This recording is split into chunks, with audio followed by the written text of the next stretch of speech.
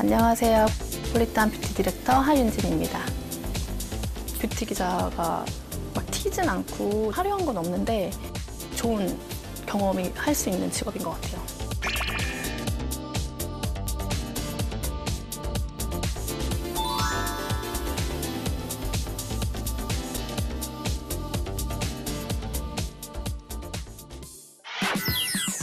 선배 여긴가 봐요. 행사장 유 향수 핑크 사파이어 향수 행사장입니다.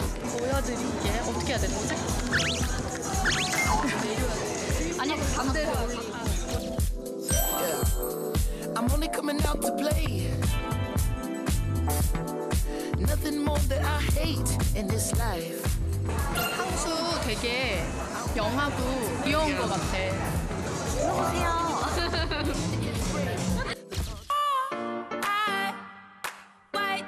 저희 지금 행사장에 왔는데 한번 보실래요?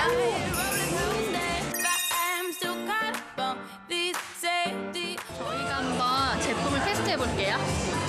짜잔. 어, 근데 이거 되게 새로 나온 패키지 같지 않아? 발색과 진짜 짠. 발색 너무 잘 돼요. 보이세요?